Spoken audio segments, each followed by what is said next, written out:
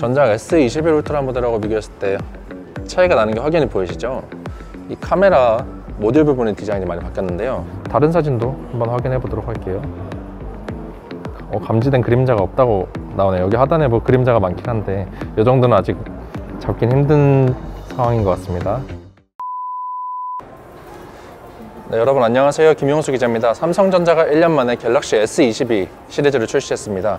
아직 뭐 공식 출시까지는 조금 남긴 했는데 작년에 이어서 제가 이거 서초구 삼성전자 딜라이트 샵에 나와 있습니다.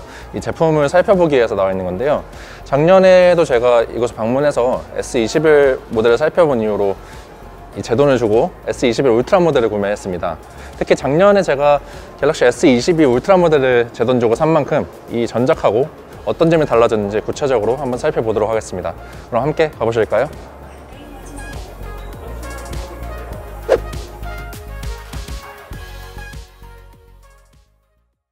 네, 먼저 갤럭시 S22 울트라 모델 디자인부터 살펴보도록 하겠습니다.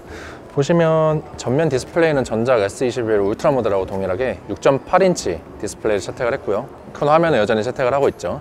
그리고 이번에 S22 울트라 모델이 특히 갤럭시 노트 시리즈와 좀 결합이 된 형태로 출시됐다 보니까 갤럭시 노트 특유의 전면 직사각형 디스플레이 그리고 엣지 디스플레이를 채택을 했습니다.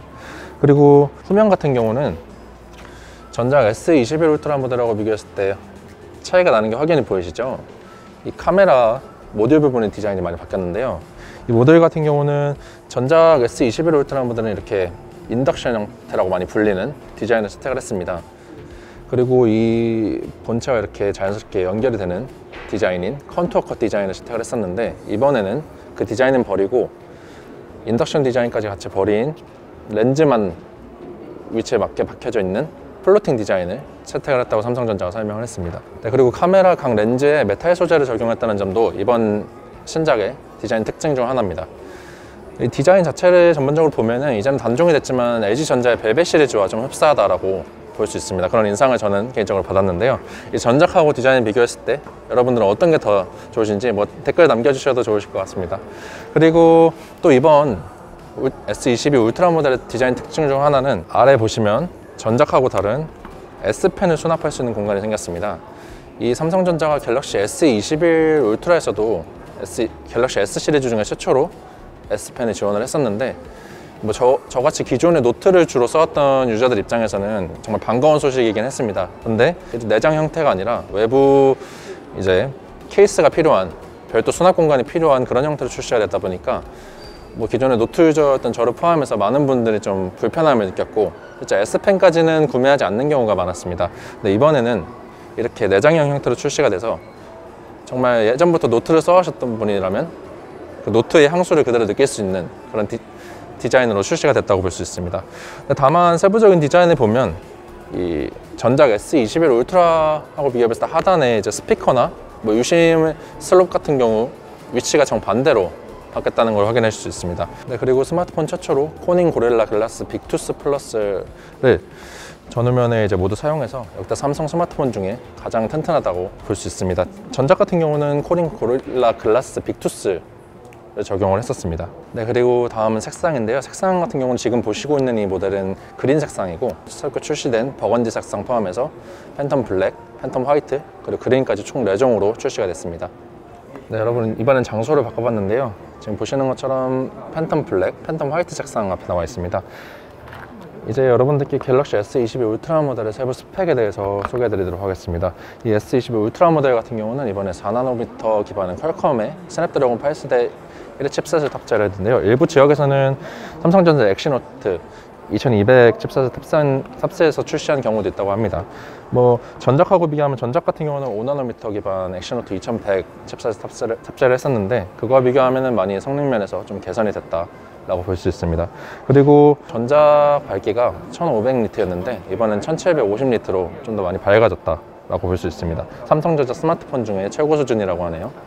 다음으로 배터리 용량에 대해서 살펴볼 텐데요. 배터리 용량 같은 경우는 전작하고 동일한 5000mAh를 지원한다고 합니다. 이것만 들어보면 뭔 차이가 있냐 생각이 드실 텐데 가장 큰 차이점은 전작은 이제 25W 고속 충전을 지원했다면 이번 신작 같은 경우는 45W 고속 충전을 지원한다는 차이점이 있습니다.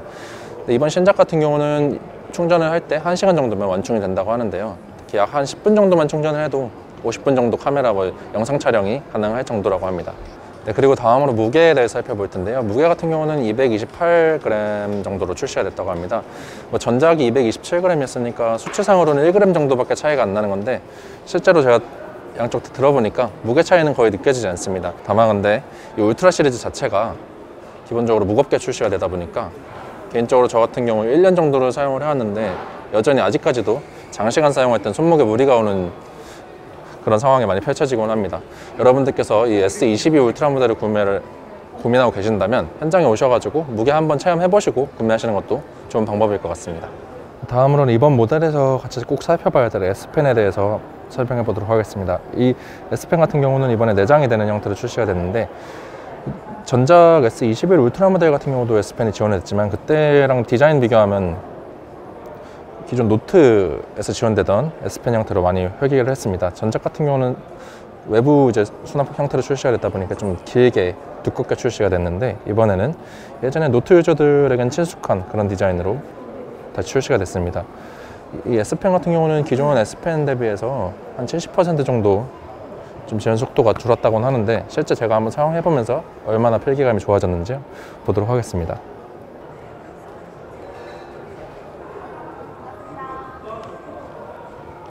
확실히 S펜 같은 경우는 새로 나올수록 성능이 점점 좋아지고 있다는 거를 저도 느낄 수 있는데요. 뭐 삼성전자 설명한 것처럼 수치상 뭐 70% 감소가 됐다. 뭐 요거는 뭐 체감하기는 솔직히 힘들지만 전작하고 비교했을 때 많이 좋아졌다 라는 걸 느낄 수 있습니다.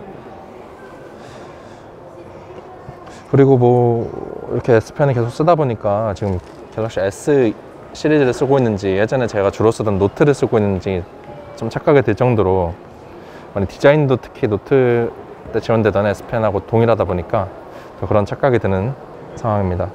평소에 업무 때 간단한 메모가 필요하신 분들 같은 경우는 이 S펜이 많이 유용하실 것 같습니다. 실제 필기감도 많이 좋아졌기 때문에 여러분들께서 핸드폰 통해 가지고도 간단하게 메모를 하면서 업무를 하실 수 있을 것 같습니다. 이번 S22 울트라 모델의 카메라 성능에 대해서도 한번 살펴보도록 할 텐데요. S22 울트라 모델 같은 경우는 삼성 스마트폰 이미지 센서 중 가장 큰 2.4 마이크로미터 크기의 1억 800만 초고화소 카메라를 비롯해서 1200만 화소 초광각 카메라, 광학 3배와 10배, 1000만 화소 망원 카메라 2개 등 쿼드 카메라를 탑재했다고 합니다. 전면 카메라 같은 경우는 화소가 4000만 화소이고요. 전작하고 비교해서 화소 자체는 전면 후면 다 동일하지만 전작이 이미지 센서가 0.8 마이크로미터였다는 걸 고려하면 이번에 2.4로 커졌다라는 걸 볼 수 있습니다. 그리고 또 AI 기술을 결합해서 야간에도 피사체 디테일까지 생생하게 기록할 수 있는 나이토그래피를 지원한다고 하는데요. 슈퍼 클리어 글래스를 탑재해서 빛 번짐 현상 없이 부드럽고 선명한 촬영도 가능하다고 합니다. 네, 그럼 카메라 촬영을 직접 한번 해보도록 하겠습니다. 네, 카메라 같은 경우는 뭐 역시 울트라 모델답게 화소 자체가 상당히 훌륭한데요. 특히 피사체 거리에 따라서 최적화된 카메라 촬영을 지원한다고 합니다. 줌 같은 경우는 전작하고 마찬가지로 100배 디지털 줌까지 지원을 하고 있습니다. 그리고 다음으로 이제 사용자가 이렇게 이동하면서 촬영을 해도 흔들림 없이 촬영을 할 수 있도록 지원하고 있고요. 그리고 또 특징이 이제 인물뿐 아니라 반려동물 촬영하시는 분들도 많을 텐데 반려동물 촬영할 때도 이제 털까지 하나로 다 인식해서 선명하게 촬영을 할 수 있도록 또 지원한다고 합니다. 네, 그럼 이제 이번에 새롭게 추가된 그림자 지우기와 빛 반사 지우기 기능을 제가 직접 기존에 찍은 사진 가지고 한번 테스트를 해보도록 하겠습니다. 먼저 지금 화면에 보이시는 것처럼 그림자가 이 테이블에 상당히 많죠. 이거 같은 경우는 전 AI 지우개 탭에 들어가셔서 그림자 지우기라고 새로 생겼습니다.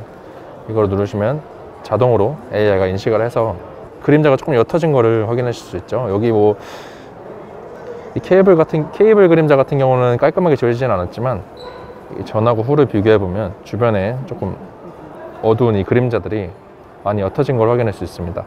그리고 또 다른 사진도 한번 확인해 보도록 할게요.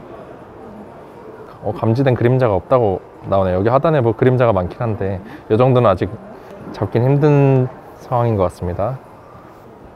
이번에 빛반사 지우기를 한번 사용해 보도록 하겠습니다. 위, 위에 조명 양쪽에 보시는 것처럼 빛이 많이 번짐 현상이 발생했는데 빛반사 지우기 눌렀을 때 어떻게 바뀌는지 보겠습니다. 여기 보이시는 것처럼 뭐 빛번짐이 조금 옅어지긴 했는데 여전히 많이 남아있는 걸 확인할 수 있고요. 보이시는 것처럼. 지금 이 아래 창틀에 투명한 유리창이 반사된 형태도 많이 지워졌네요. 네, 그리고 기본적으로 이 폰에 내장된 사진을 가지고 그림자 지우개를 한 번 더 테스트 해보도록 하겠습니다. 뭐 보시면은 왼쪽의 그림자는 완전히 사라졌고 오른쪽에 사람 위에 비추던 그런 그림자도 많이 지워진 걸 확인할 수 있었습니다. 이 제가 좀 전에 직접 촬영한 사진보다 이 기존에 있는 사진의 그림자 지우개가 좀 더 잘 됐는데요. 아무래도 뒤에 배경의 영향도 많이 컸던 것 같습니다. 네, 여러분 지금까지 갤럭시 S22 울트라 모델을 살펴봤는데요. 뭐 총평에 대해서 간략하게 제가 일단 뭐 말씀드리자면은 작년에 게- 저처럼 갤럭시 S21 울트라를 안 샀던 노트 유저분들 같은 경우는 이번에 모델을 꼭 구매하시면은 주- 만족도가 상당히 높을 것 같습니다. 어, 이제 S 펜도 지원된다는 점도 장점인데 디자인적에서도 작, 작년에 출시된 것보다 저는 개인적으로 좀 더 마음에 들었고 뭐 카메라 화소나 뭐 가격적인 측면에서도 종합적으로 좀 더 좋았던 것 같습니다. 그리고 아무래도 노트 유저분들이 많이 선호하는 그 대화면도 이번에 충족 충족할 수 있는 그런 모델로 출시가 됐다는 점에서 기존 노트 유저분들 수요가 상당히 높을 걸로 저는 개인적으로 생각하고 있습니다. 그리고 이 갤럭시 S22 울트라 같은 경우는 이제 오는 14일부터 21일까지 사전 예약을 받고 그리고 25일 국내 공식 출시가 됩니다. 네, 그리고 출고가도 여러분들께서 중요하실 텐데요. 출고가 같은 경우는 이번에 내장 메모리에 따라 두 가지로 출시가 됐기 때문에 가격이 다릅니다. 먼저 전작 S21 울트라하고 동일한 스펙으로 출시된 12GB 램, 256GB 내장 메모리 탑재된 모델 같은 경우는 145만 2천 원. 그리고 여기 동, 동일한 램에 512GB 내장 메모리가 탑재된 모델 같은 경우는 전작보다 한 4만 8천 원 정도 저렴해진 155만 천 원으로 출고가 됐습니다. 다만 이 512GB 내장 메모리 탑재된 모델 같은 경우는 전작이 램이 16GB였는데 이번엔 12GB로 조금 낮아졌기 때문에 출고가도 4만 8천 원 정도 저렴해졌다고 볼 수 있습니다. 그럼 다음에 기회가 되면 S22 울트라 모델을 조금 더 길게 써보고 상세한 리뷰를 가지고 여러분들께 인사드리도록 하겠습니다. 지금까지 김용수 기자였습니다.